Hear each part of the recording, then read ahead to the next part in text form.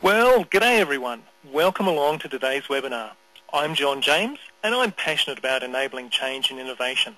And that's why I'm hosting today's webinar, where we can explore and discuss issues relating to enabling change and innovation.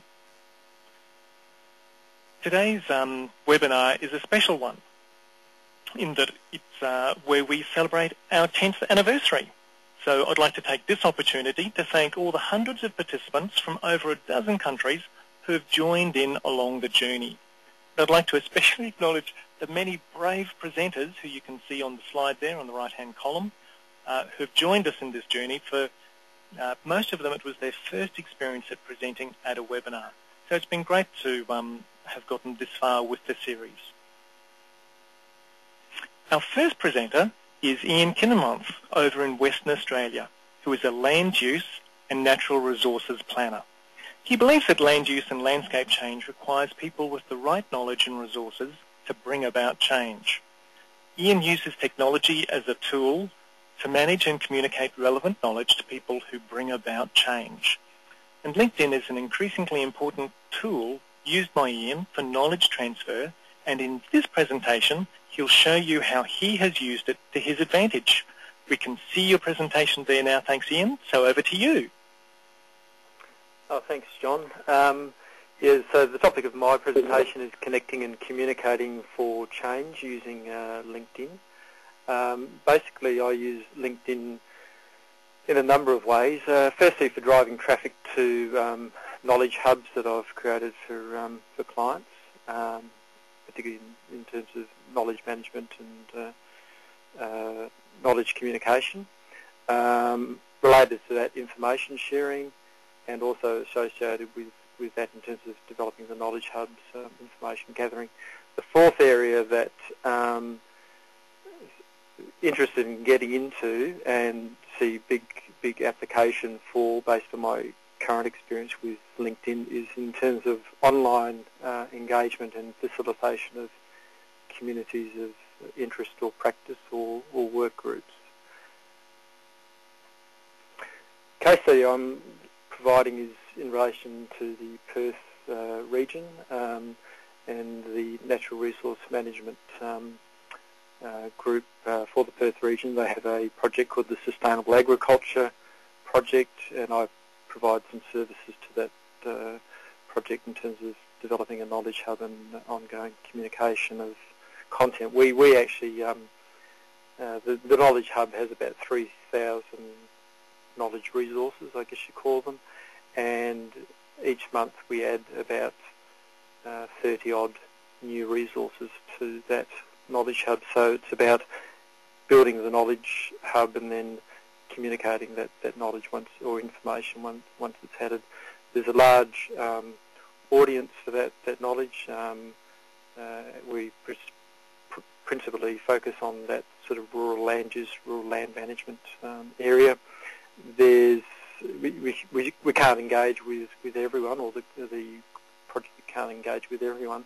So a key strategy is to um, engage with the influencers.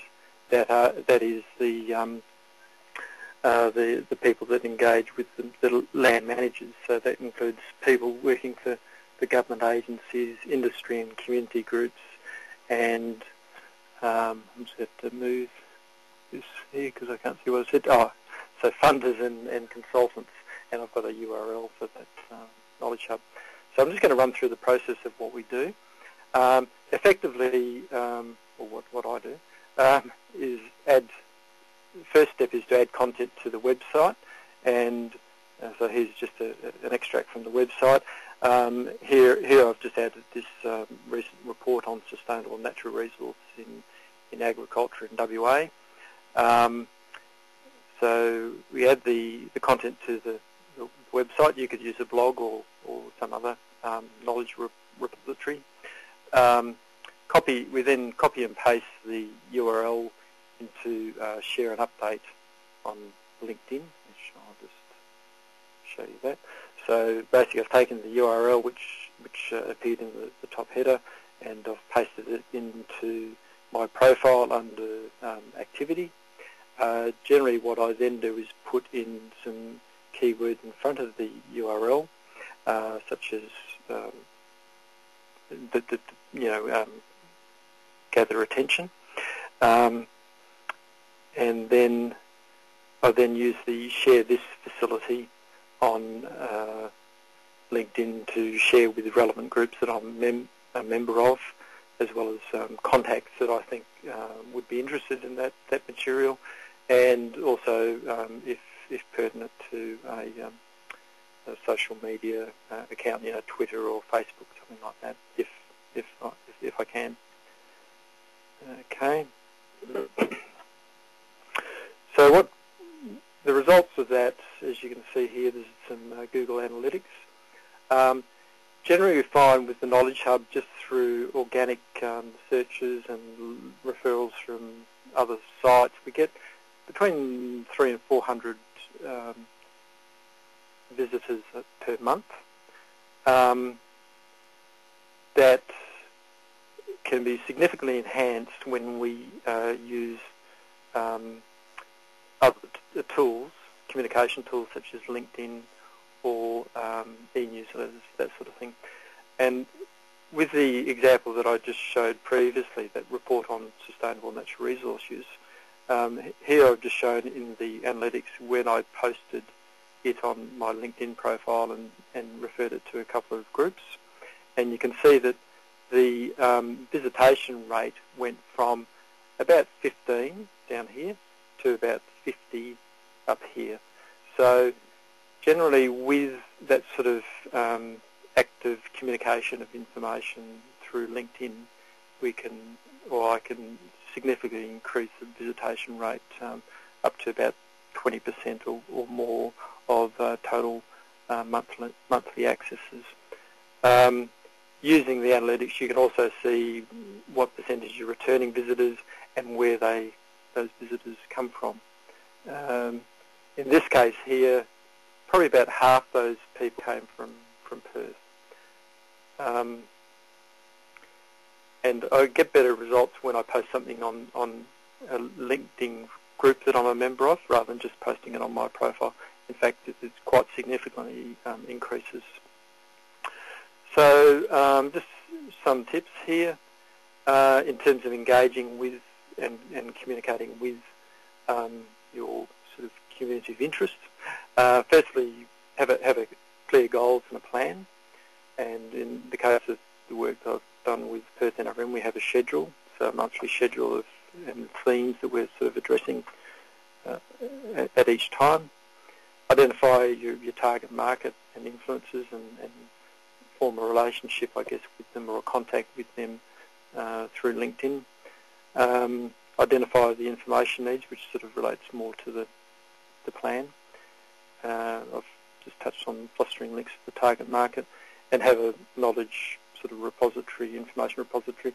Of people have blogs uh, like WordPress. They're very easy to, to set up. You don't have to have a dedicated website or knowledge hub as, as we do. Um, the other thing, good thing about WordPress as well is it shows you the stats as well. Um, other tips, join relevant groups, um, monitor and measure traffic as you can, as you saw with that, that analytics. Uh, post regularly, keep keep the um, information alive. Uh, use images and keywords. We we find, or I find, sorry, that um, yeah, a picture speaks a thousand words, and you probably get a tenfold um, uh, number of people uh, connecting to the information you've posted, rather than if you just have have um, you post the URL, for example. Uh, focused on focus on quality and not quality, and right to that is don't be a be a spammer. When when sort of working with groups and posting information, um, there you find some people just keep posting stuff, you know, quite quite regularly. Um, in the case of the, the post that I just showed you, we've we've probably I've posted um, a couple of things um, in the in the last month, and that's that's really all because I'm not not really sure the other stuff that we've put on the Knowledge Hub is sort of relevant to those groups. And um, lastly, be be courteous. Um, key advantages that I've gained from uh, using LinkedIn. Um, the ability to connect information to contacts. Um, I guess over a 30-year working life, I've developed a, a whole range of contacts uh, within that sort of land use and natural resource sort of uh, space, town planning space, and um, I've, I've, uploaded my um, the contact list that I that I had through my email accounts, and that gave me an initial sort of contact list of probably about um, 400, I think, 300 or 400, and uh, yeah, I find that I've been able to make contact with people that uh, I haven't sort of talked to um, since early on in my, my career, but um, and they've sort of moved location, but they've also joined LinkedIn, so you can you know maintain that sort of contact with people no matter where they are. Uh, expanded wet network, so my current network is up to close to 800 uh, people. Uh, again, uh, some of them are in WA and some are interstate and some are international. Uh, again, I try to keep it within that sort of land use, urban and, and rural sort of planning space. Um, it, helps uh, with your, your, individual brand presence or business presence and recognition. Uh, it's a source of information and knowledge and new skills and services. So um, the, this uh, service of online group facilitation is, is one sort of ex being explored at the moment. Um, and and finally, um, happy customers and, and business opportunities. Uh, one thing I haven't really improved is my graphic skills. That's showing me with a, a sparkly smile. I'm supposed to be a lot happier through the use of LinkedIn, but um, there's there's one uh, for the list. Uh, thanks, John. I think that's about it. So our next presenter is Gerard Byrne from Townsville. Uh, Gerard has studied at a number of places, including James Cook Uni, uh, University of Queensland, Griffith Uni, and the Royal Melbourne Institute of Technology. He is the co-author of the CPA Australia publication, Grants in Australia, Management and Accountability. And Gerard has received a Prime Minister's Award for Outstanding Leadership and a Premier's Public Sector Award for his work with Cyclone Larry. Gerard is extensively involved in governance and capacity building in the not-for-sector, not-for-profit sector. Sorry. He is currently the executive manager for Emergency Management Queensland and is based in Townsville. We can see your presentation there now. Thanks, Gerard. So over to you. Yeah, uh, thanks, John. Welcome, everybody. As uh, John indicated, I work for Emergency Management Queensland, and um, for those of us in Australia, particularly at uh, at this point in time, this week, um, New South Wales is facing some major challenges. So I might um, allude to that a bit during the presentation, John.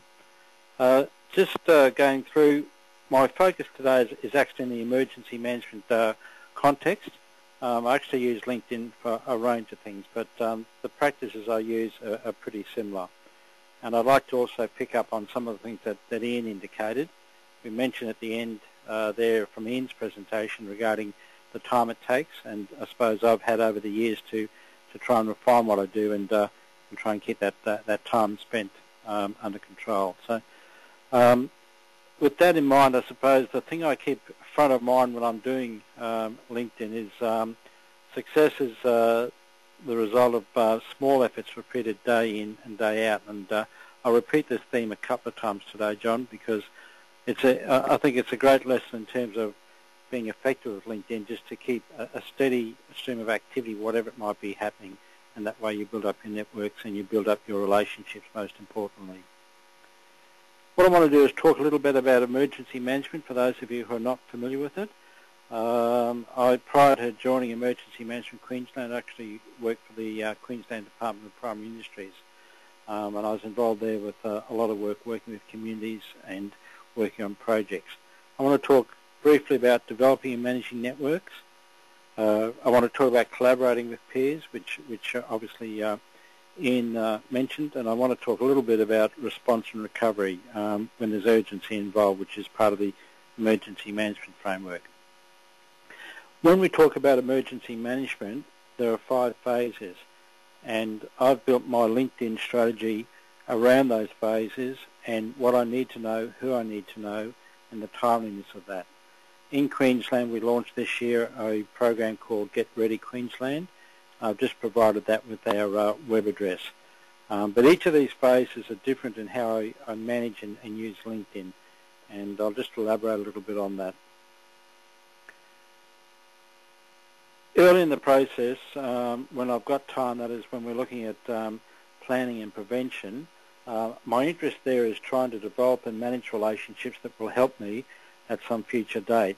And so the fundamental thing is that uh, I learned early in the piece that you really need to be disciplined in what you do with your your LinkedIn strategy. You need to have a plan about what you want to want to achieve. So what I did is I, from an emergency management point of view, I went through who I need to develop relationships with, either existing ones or ones that uh, I need to seek out. And Ian mentioned how um, what I like about LinkedIn is I've worked with many people over the years, and, and it's actually catching up with people who you may have worked in with the past, but you've lost contact with, so it's been handy there. So I just did a simple exercise there about um, going through government agencies, which you can go to directories.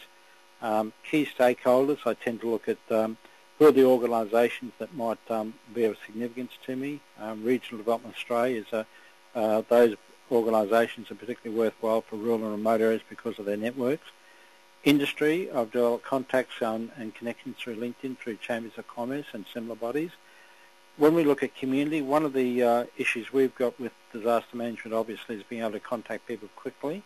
Um, and while we've got other systems in place through the disaster management framework, I complement that with what I can do through LinkedIn. The next one is particularly important, and, and LinkedIn sort of has picked up on this at a, at a global level. They talk about you know, who are the influencers. So what I look for in my community of interest are who are the people who are um, most influential so we can get messages out. Um, the next couple of media, um, and obviously an important one, so I liaise and build relationships with local media in print and electronic. Researchers um, and uh, bodies such as APAN and others are, are, are, important in that, and universities. And last but not least is, is you know, the peers, the colleagues, the friends that you've worked with over the years, and then how they might identify other people that might be uh, significant to you.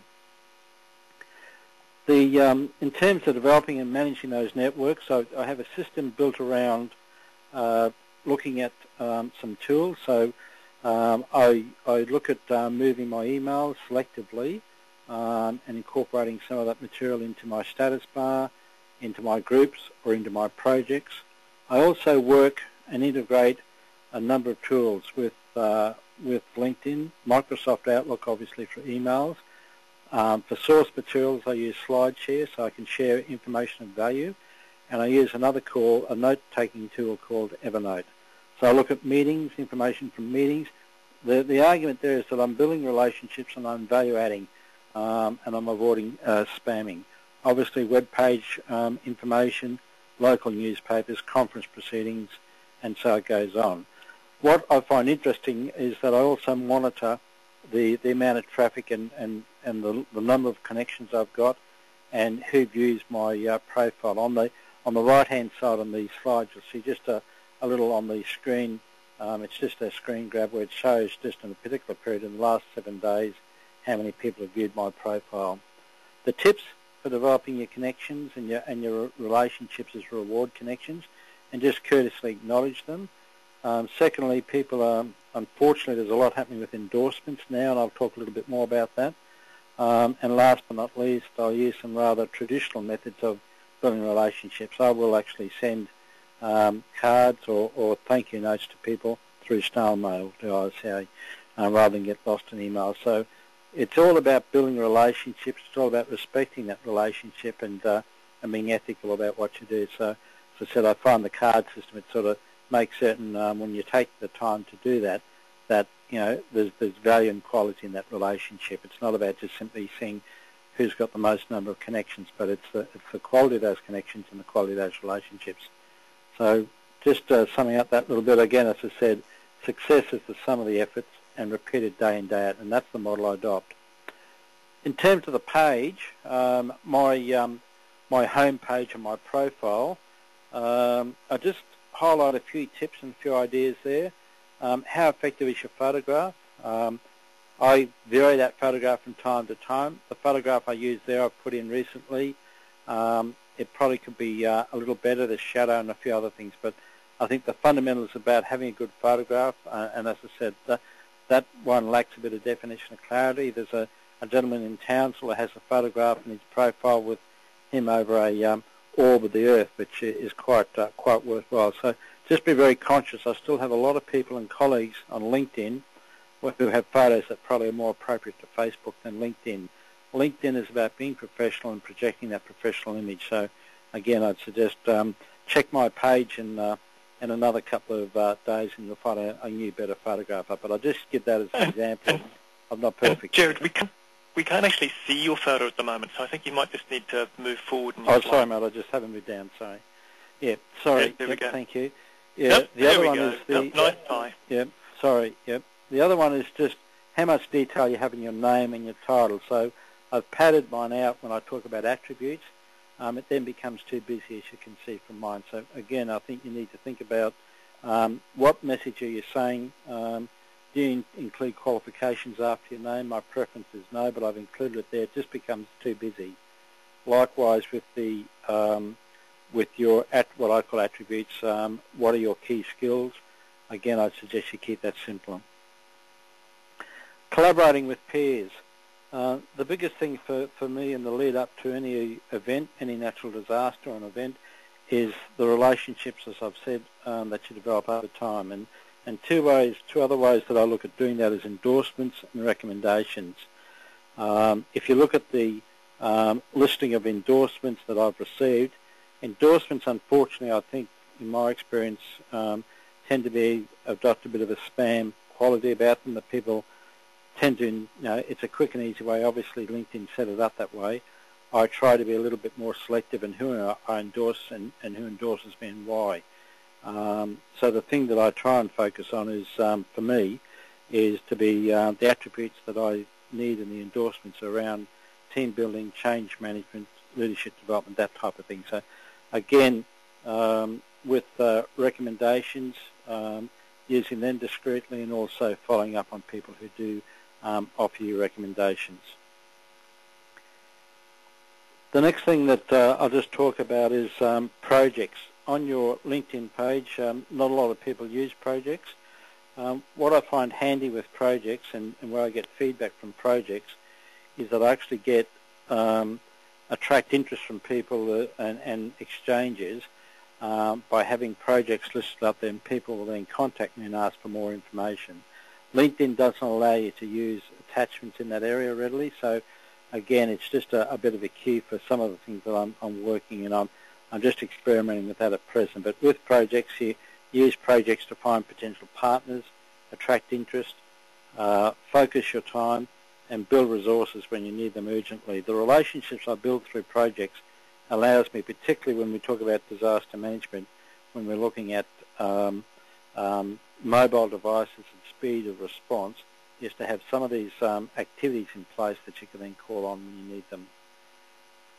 Just skip the next slide. I'll just move on.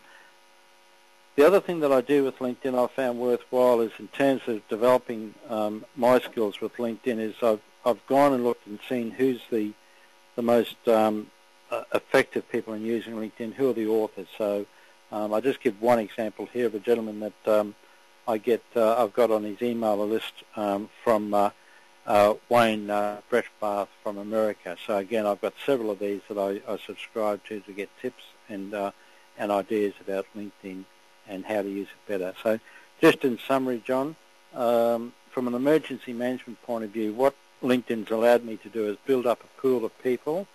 Um, we're very much geographically based, so I can search by geography, I can search by interest area, and uh, and in our planning and preparation phase, that's quite worthwhile. When we're looking at actually responding in an event, um, we tend to rely on more traditional communication methods, but when we're looking at the recovery phase, if you remember that after an event, well then again you go back to LinkedIn for a lot of the connections with people who then have insights and ideas and, and whatever that you can work with. So my LinkedIn approach is to, to, to build it around my, my normal um, working arrangements and, and partnering that with things like Microsoft Outlook and some of those other tools.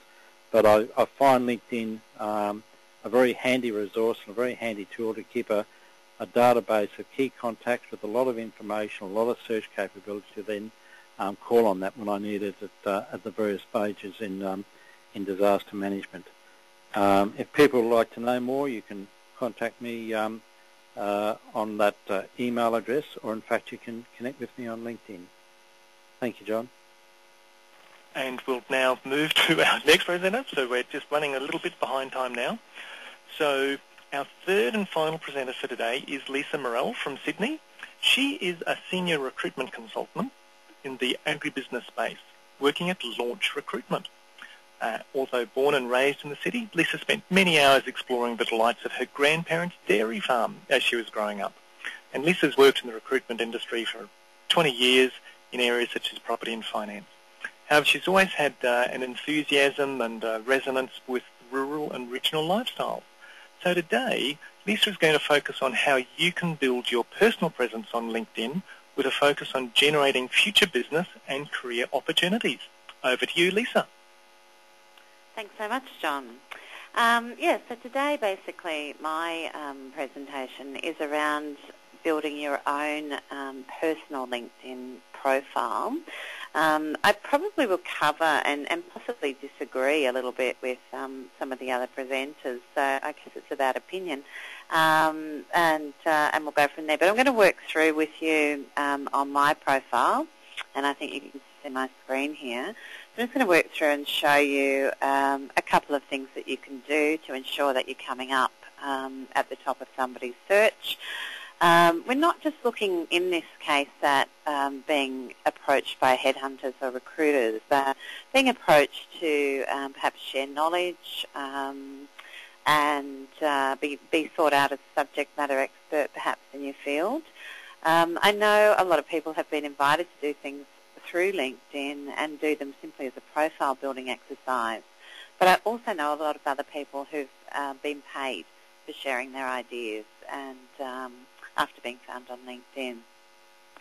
So what we need to remember, I guess, is that your profile establishes a resource on the internet of your experience and your capabilities in terms of your professional uh, skills. So it's an easy way for people to connect with you and to contact you. Ian mentioned uh, earlier, of course, it um, helps you reconnect with old work colleagues, old contacts, old clients, etc., and also to keep in touch with people once they've changed jobs, moved overseas, etc. One of the biggest benefits, though, is I think it really allows you to establish these new business connections. So Gerard mentioned um, having a professional photo. You can see from my photo here, I've got a professional head and shoulders shot, and we all do at launch. And that's um, relevant for, I guess, people that want to work in a corporate environment or, or take up an executive position, etc. Um, but if you're applying for a role or, or working as an agronomist or something like that, you might want to do something a little bit more down to earth and, and have a picture of you, perhaps with a row of crops behind you, or whatever you think is relevant in terms of building your personal brand. Definitely don't recommend um, logos, um, product images, things like that, because it's not about you personally. This page is your personal page. Um, professional headline. Uh, Gerard mentioned, um, and I'm just pointing my cursor here underneath my name. Uh, Gerard mentioned in terms of his um, name, he was able to add um, qualifications, etc. I'm just going to click here on Edit Profile so that you guys know how to edit this, by the way. Um, so to the left here, you can see the little pen, and you can go in and put uh, your qualifications. Your professional headline defaults to the most recent position title that you've held in terms of the um, CV part, if you like, of your profile, which uh, comes a bit later in the profile. And so Senior Recruitment Consultant Agribusiness Primary Industry at Launch Recruitment is my title in my um, CV proportion. But if you felt that your title wasn't particularly relevant, and some people um, have got titles that don't mean a lot or titles potentially that could be misconstrued, you could put a personal positioning um, phrase in here. So for me, it could be something like connecting um, talent in agribusiness with uh, companies or something along those lines. Uh, so just going to move down uh, here. There's a button here called Activity. uh, sorry, I don't want to go there. I want to go to where it says edit contact information. I'm just going to click on that and that will open things up a little bit more for me. And you can see here I've put all of my contact details in uh, that are relevant. So email, direct phone number, email address again, and uh, my actual physical street address. But I have Twitter, and when I put a status update into my LinkedIn profile, I like it to go out to my Twitter account uh, at the same time as it heads out to my LinkedIn account. So I've added my Twitter uh, just there so that you can um, get the updates coming out together. So I'm just going to close that section again. Um, the next part that I'm going to talk about is keywords and skills. So you'll see here uh, under summary, and again we can edit it here over on the right. You'll see here under summary that um, we at Launch uh, have got quite a lot of similar information in terms of, uh, say in paragraph 3, the fact that we specialise in agribusiness, uh, also have other practice areas in telco and utilities. But again, you want to put some personal information in here to ensure that you do come up at the top of the search. So I've got the word agribusiness in my summary on a number of occasions, primary industry as well, recruitment, uh, those sorts of things. So if somebody wanted to do a search for somebody in recruitment in agribusiness, I want to come up towards the top of the list. So putting those keywords into your summary is really important. Going to scroll down a little bit further past the CV proportion because I think uh, we probably all know how to do that and uh, talk a little bit about skills and experience. Again, I've got um, my profile open so I can edit it and if I wanted to uh, add a word, so let's uh, say extension, within um, agribusiness, it comes up here as agricultural extension. I can click on that and hopefully I didn't add it. No, I didn't. Um, but I can add it there and save here. So um, for you, you might want to have the word extension listed on a number of occasions throughout your profile um, and whatever is relevant to you. But I also recommend you add it to your skills and experience because if you have a high number of endorsements for agricultural extension, again, it's going to bring you up close to the top of the searches as you uh, come through. So uh, that's the editing of the profile. So I'm just going to go back up to the top and close that save and exit. Gerard talked uh, before about your status updates getting lost in a sea of um, updates, and I agree, uh, Gerard, that that is true. However, from my perspective, uh, what I want to do in terms of my interaction with my uh, connections is really be at top of mind. So I'll make sure that I go through and do a status update a couple of times a week. It might be a little bit more often, um, but generally only two to three times a week. And it might be an article that I've seen that I think might be relevant about something that's going on with a particular um, food production business or something that's going on um, just in terms of I actually subscribe to the ABC Rural News and uh, interesting articles will come up and I'll share them. And the reason that I do that is I want to see my face um, two or three times a week come up in the news feed. People might not necessarily read what it is that I've put up, um, but they're seeing my face coming up um, two or three times a week, and uh, it's really just keeping uh, my face top of mind. Um, I've had a lot of people, funnily enough, that have recognised me um, at events and in the street simply because I'm quite active on LinkedIn. Um, so I tend to um, use the status updates quite regularly for that reason. The thing I would say, um, and um, Gerard I think mentioned briefly as well, it isn't Facebook. Um, don't use the spot to say status relating to you know favourite rugby team, um, issues you're having with your boss, obviously, or you know the fact you've had a bacon sandwich for breakfast. Nobody is really that interested in terms of uh, who's looking at your LinkedIn. Um, the other thing, again, Gerard briefly mentioned this, but I have got a bit more to say um, in terms of the area here on who viewed your profile. I like to look at that at least um, daily, well, Monday to Friday, and um, have a little look at who's had a look at my profile recently. Reason being, this person, um, senior consultant, RM Consulting Group, Environmental Services, interesting. Uh, somebody who's executive officer subtropical dairy program. Um, they've both had a look at me and they haven't invited me to connect. So if I felt that they were relevant, so I'd always go in and have another look at their profile. Um, if I felt that they were relevant uh, to add to my network, I'd always uh, send them a personalised invite, which says something along the lines of, hey, I noticed you looked at me. Um, is there anything I can help you with? Um, notice we share similar industry. Love to connect with you. And very often you'll find if you personalise your invite that they will respond. Um, they might have been looking at your profile to see whether or not they could find something on there um, that for whatever reason you just don't happen to have in full on your profile and they couldn't find it. So you could turn that into a business opportunity or you might be able to build rapport with them through recommending a relevant person that could also uh, assist them. But in any event, the bigger your network, the wider your reach, the bigger your network, the more likely you are to come up in people's search results. Um, so that's what I would say about that. Probably the last tip, because I'm just looking at the timing here, that I will share is um, about free messaging in groups. Uh, somebody asked a question earlier about whether or not it's a good idea to have a paid profile, and certainly for me in recruitment, it is. It gives me a wider access to people.